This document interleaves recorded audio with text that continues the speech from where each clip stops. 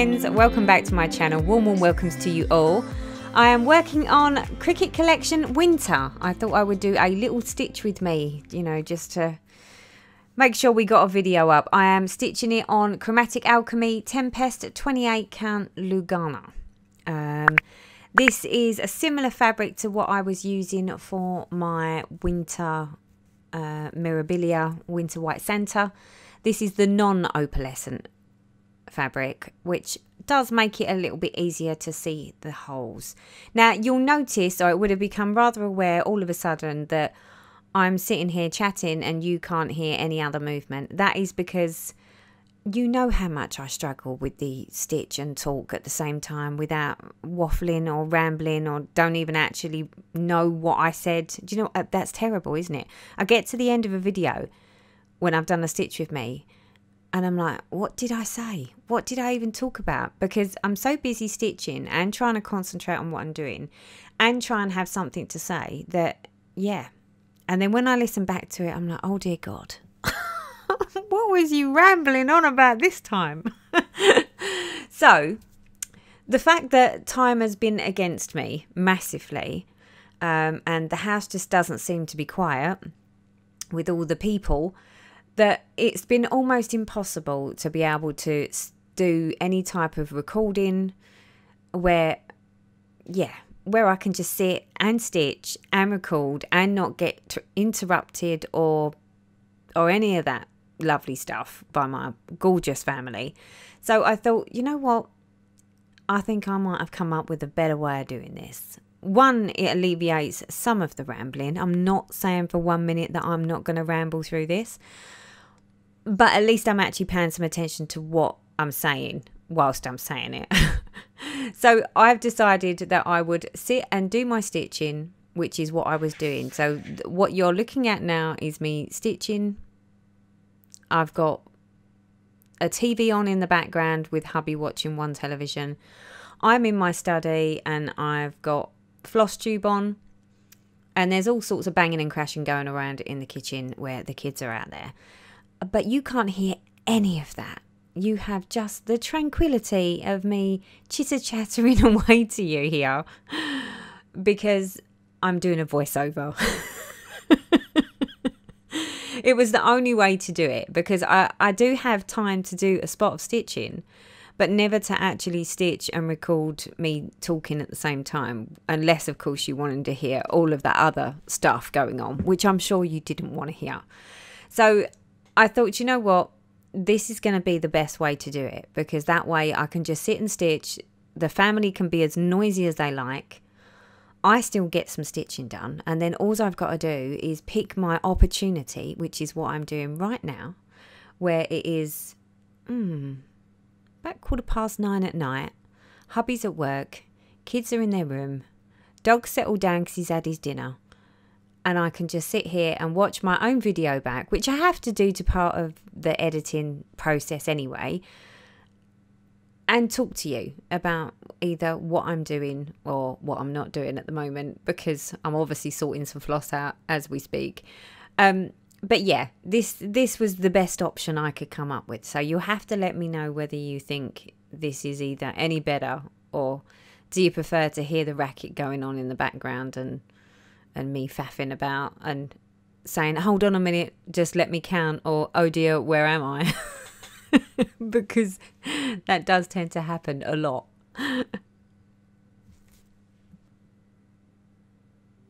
so, as you can see, I've not really stitched very much on on my winter. Um, all the plans of you know having a finish before winter was over so that I could actually, you know, have a fully finished object and have it hanging up. It's yeah, that that's not happening, people. because I haven't even managed to get the snowman done. And it's white. What is it with me and white? I absolutely detest stitching white. So I thought, well, I don't want to just sit there and just stitch white because that would be extremely boring for you. So I thought, well, rather than go downwards I would try and go upwards and see if we could get up further to his face. Just so that you had some other colour to look at other than white. So, yeah, so I was still struggling with the fabric on this one to see what I was doing whilst I was recording, but that's my own stupid fault because really I should have had the camera over to the right hand side. See, hindsight is a wonderful thing. And I only find these things out when I actually watch these videos back and I'm like, do you know what, Teresa? Either the light's on the wrong side or the camera's on the wrong side and you got your big fat hand in the way. so, so this is all a bit trial and error. But I have this new this new special special little arm that goes over the top of my stitching now. Um, that I've been recording from from my desk because it's a little bit more stable. But I'm still working with the setup. So, you know, note to self for next time the fact that I am well, I'm right-handed, so I always have my right hand underneath my project. So I need to make sure that because my big fat left hand is on the top, I need to make sure that the camera is on the right hand side. so that my big hand doesn't get in the way and it doesn't then sort of, you know, mask the, the light as well because I've got a little light over the top to try and make it so that you could see. So, so yeah, see, the rambling's already beginning. So one of the things that I have noticed is, you know, that whole stitching white. Is, there's a controversy about, you know, people and stitching either, you know, uh, the white thread. That it doesn't matter. It seems to matter whether I've used Anchor or DMC. White is white, and unfortunately, white always looks really messy whenever I stitch it. It's just a thing, which I think is the reason why I absolutely hate stitching white. Admittedly, on this one, it is just the snowman, so at least I've just got to get him done and then it's not so bad. But the stitches that you can see there are, that are white, I've just stitched as normal. And no matter how much I think they might look okay, a lot of people always say, Teresa, why don't you railroad? Railroad your stitches, and then that way, you know, that everything will lay better and it, it won't look quite so messy. So I decided that we would give that a go and that I would try the whole railroading technique whilst I'm stitching the white to see whether what they said was true. Because white is just one of those threads that it just doesn't matter how careful I am. It it never lays as well as any of the other colours. It always looks scrappy and scruffy and yeah, it just it it never looks as good as I think it should.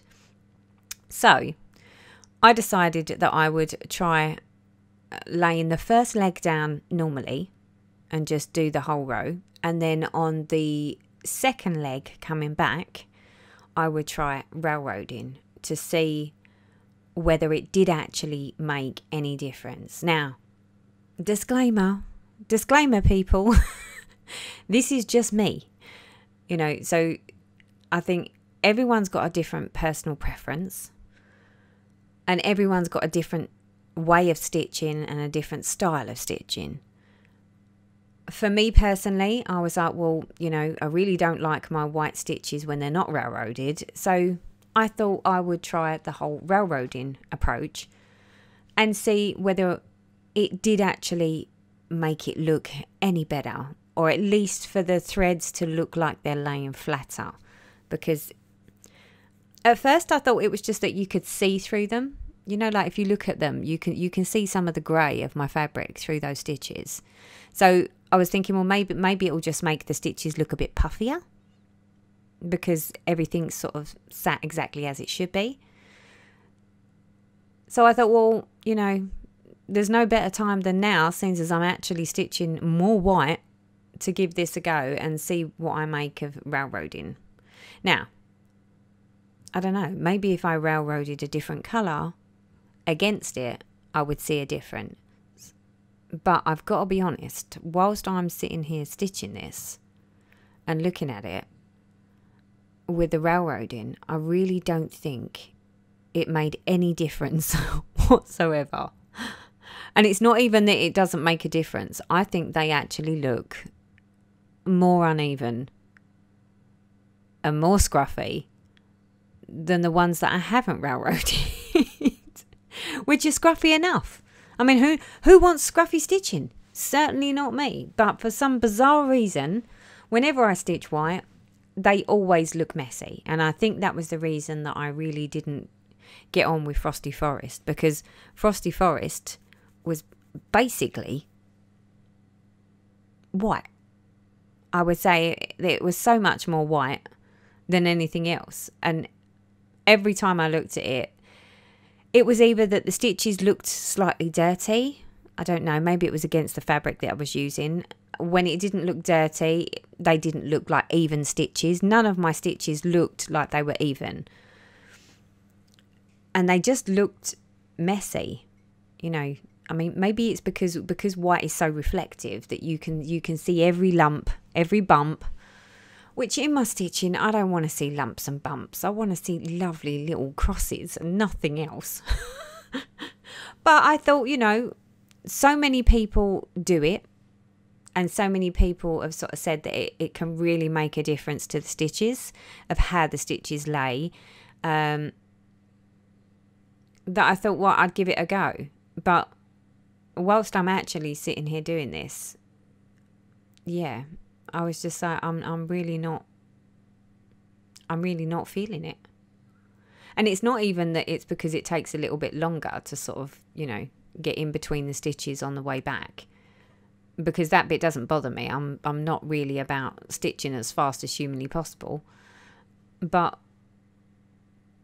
I was thought maybe I could get it to, you know, to make the white stitches look better than they do as you can see, I'm actually in the middle of struggling to just get the stitches in the right place because I can't work out where the holes are because my big fat left hand is blocking the light. So that little shadow that keeps going over, that's that's the reason. Because uh, yeah, I've, I honestly I need to wear my mag eyes all the time these days. It's just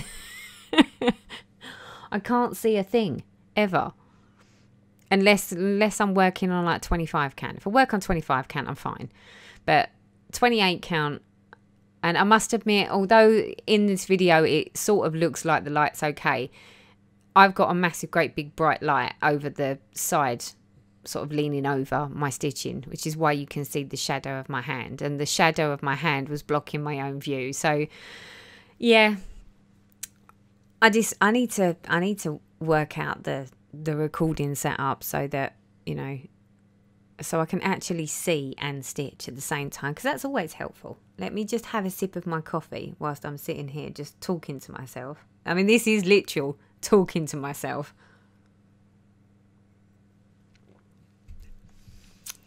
But as you can see, well, I don't know. I'll take I'll take any comments that you give me, but if you look at this stitching, when I look at the white bit underneath the red bit, which has not been railroaded, that is just straight cross stitching. I haven't been particularly careful about how my threads are, whether they've crossed. And then the bit that I'm actually trying to pay some attention to and, and you know, separate the threads to make sure that they're not crossing, I actually think that looks more scruffy at the top than the bit at the bottom.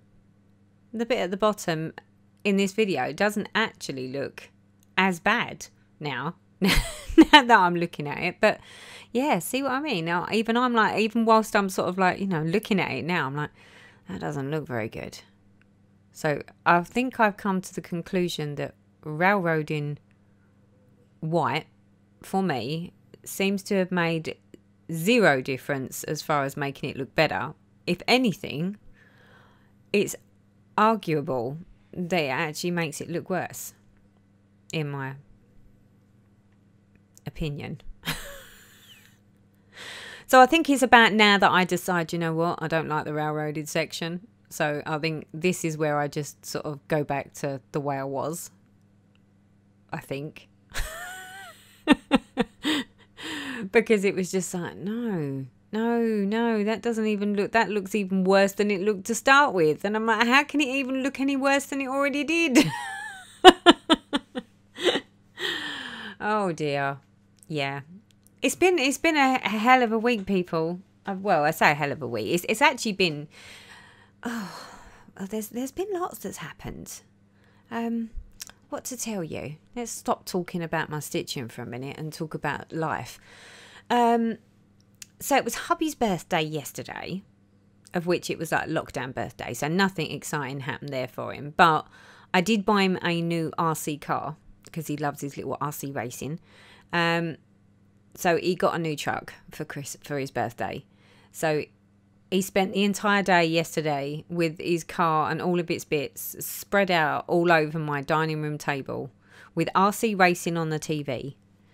Um, and started building his car. But it was literally RC, RC, RC. There was just loads of RC, which, you know, if you're into that, then I'm sure it's, you know, out of this world exciting. But for me, it was like, God, this is boring. I was like, can't we put floss? Do you know what? That this is what makes me laugh. Even though it was his birthday, I let him put his RC on. I'll guarantee you, if it was my birthday and I said I want to sit there and watch Floss Tube, he'd be like, I'm not sitting here watching your Floss Tube with you.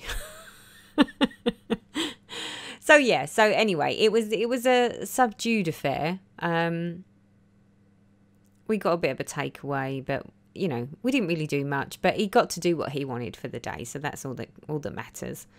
Um, today we found out about the unlocking of the UK and how it was going to work. I mean, nothing's happening speedily. There's the you know it's not like he sort of said okay as of like Monday we're unlocking.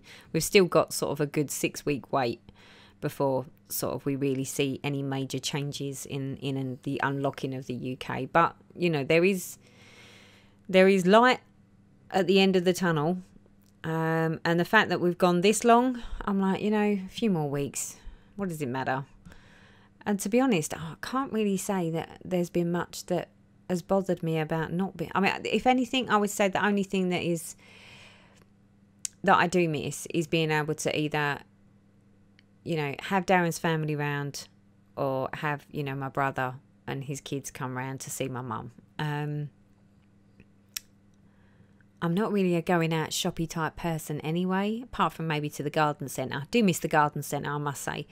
Um, but that's only been like this week because we had like we we went from like the the weather has just been bizarre. We went from having really really cold weather, like snow, and you know minus three, minus four, to this weekend, we was at seventeen degrees, which was like heavenly. I was out mowing my lawn on Saturday in a pair of jog pants and a t-shirt that's right, you heard me right. A t-shirt, and it's like it's it's sort of I don't know.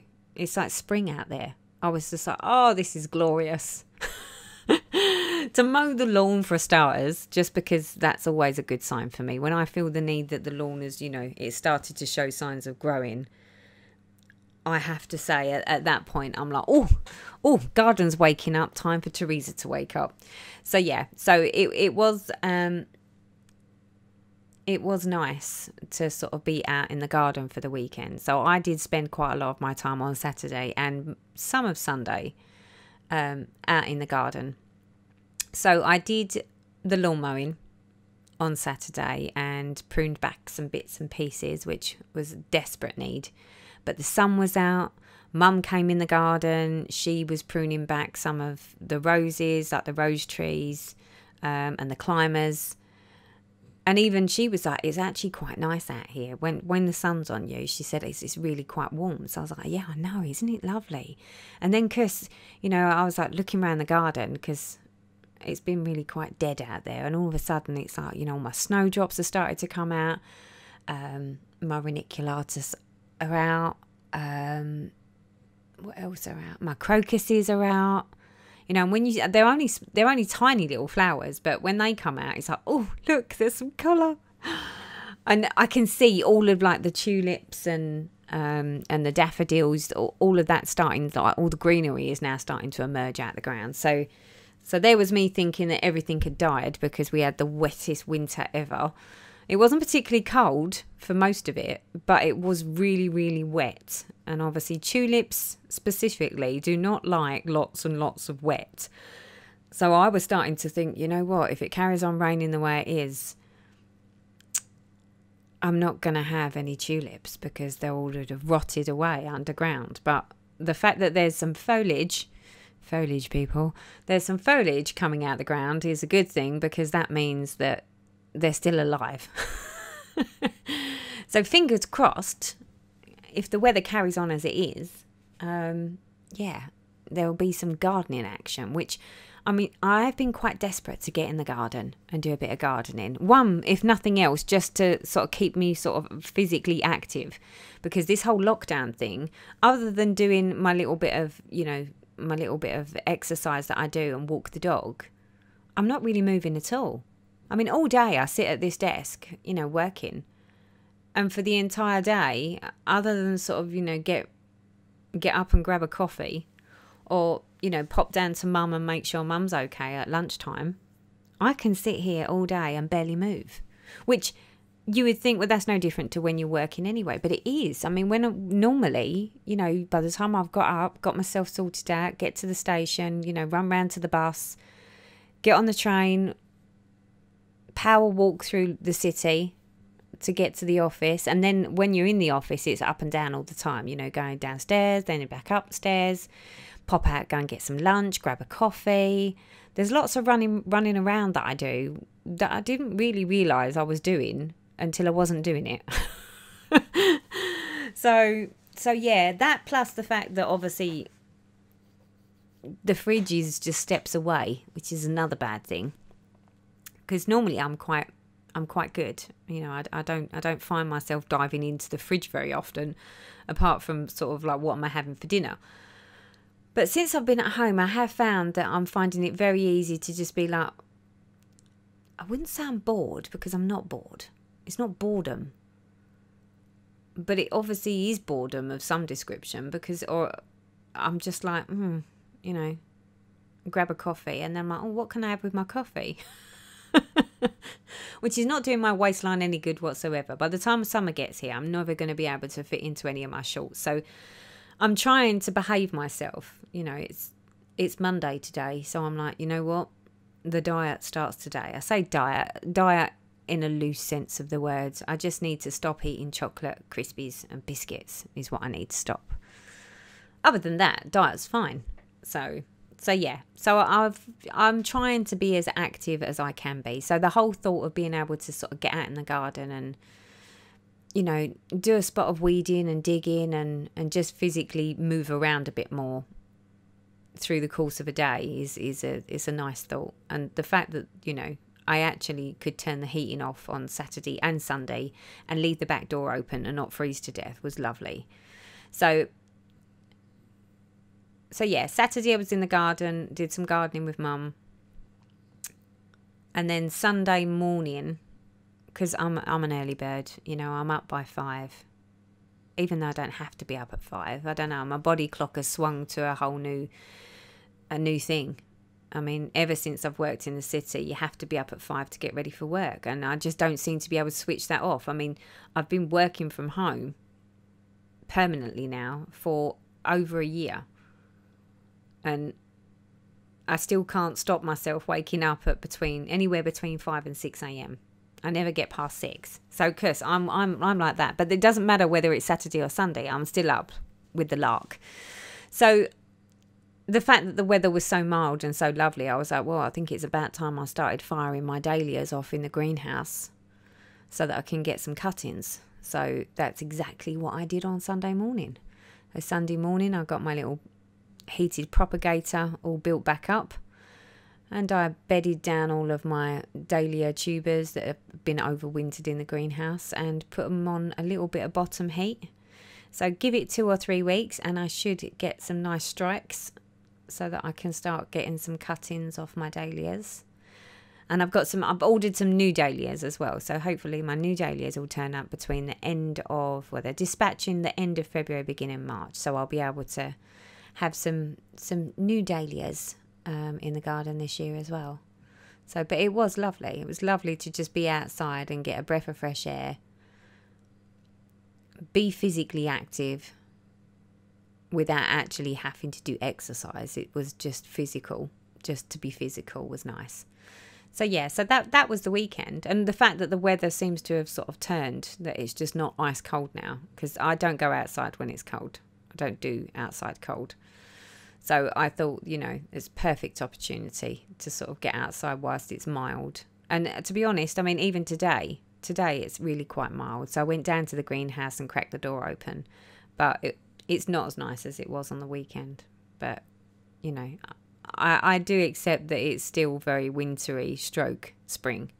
But yeah, that whole spring thing, you know, the spring in your step type thing, I'm so feeling that because it's like, oh, at last, at last, I'm seeing some colour in the garden, which always puts a smile on my face.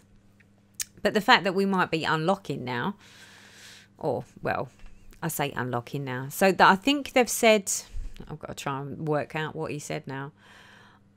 I think we've still got about six weeks before, you know, the hairdressers open or, you know, some of the retails or retail outlets start opening, like the non essential.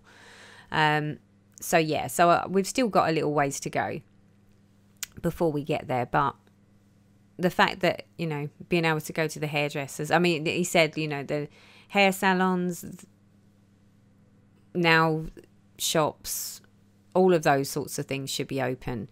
Um, you'll be allowed, um, I think it was two families or a total of six people in people, you know, outside um, in gardens and you know sat chatting. That will be that will be allowed. But like I say, it's sort of six or seven weeks away yet. So, but it's definitely something to look forward to. And the fact that the weather's just turned as well, it's like yeah, yeah, we're ready for that now. So, although I don't want people bombarding me just because all of a sudden we all unlock and it's oh yeah, you know. I just foresee this thing where you know just because we're unlocked that means people just can just come and knock in because I've quite liked just sort of you know have a little chat on the phone but not have to sort of entertain. But obviously I know that for a lot of people it's really been quite tough. So so I'm sure that they're really looking forward to sort of being able to socialize. But yeah, I've I've quite liked the whole socializing on my own terms. I think I call it. but as you can see, I'm now what are we doing? We are yeah, so we've done some eyes and we've got a little bit of a face appearing. At least we've stepped away from a bit of the white. God, white just goes on forever, doesn't it? But do you see what I mean about the white? The white is where I've railroaded. You can see that it's it's it's no better. If anything, I, I argue that it actually looks worse.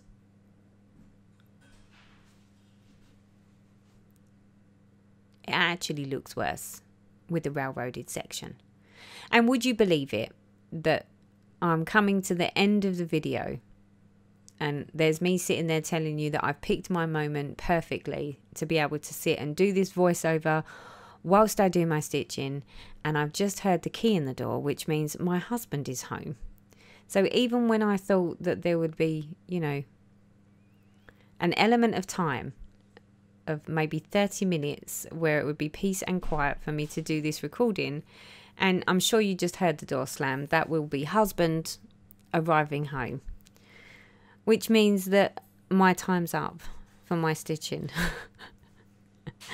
so maybe I'll just put some music on for this bit so that you don't have to listen to it. Yeah, he's definitely home, people.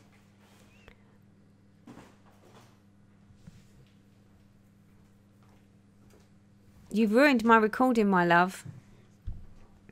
You've appeared.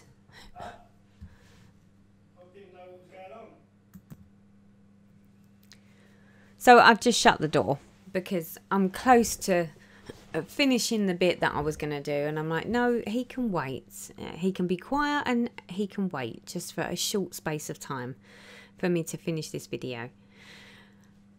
But I must admit, being able to just sit and stitch and then do the talking afterwards seems to be a little bit easier. Purely because I can stitch, you know, as and when I've got a bit of time which at the moment in today's world it's almost impossible to sit and stitch and talk to you at the same time because either people are in bed if they're not in bed then they're up which is that's not even an option to try and do a video and talk to you whilst there's people in my house. It's the only downside with open plan.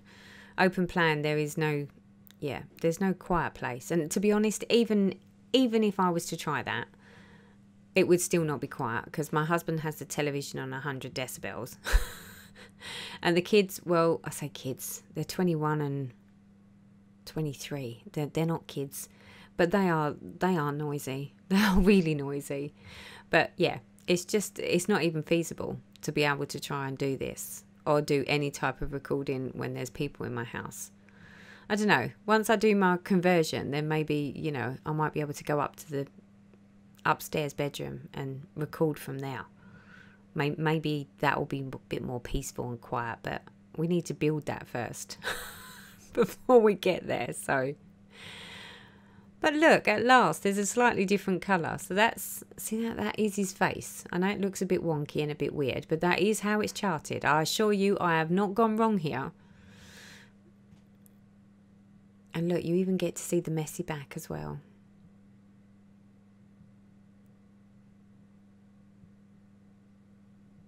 And my big hand. My hand looks oversized in this in this video. so I apologize. This is work in progress, people. It's work in progress and I, I'm going to find a way to do this recording so that there's no shadows and that my big fat hand doesn't get in the way of all the stitching. But I don't think we did too bad. See? Look, look how much I got done. We got we got some of his face. Yeah, I'm, I'm, I'm okay with that. I'm quite happy with that. And it was quite nice to just be able to sit here, stitch, and then talk over afterwards. So you have to let me know whether you think that it's okay to do it this way. So until next time, people, I thank you for listening to me waffle as always. And bye bye for now.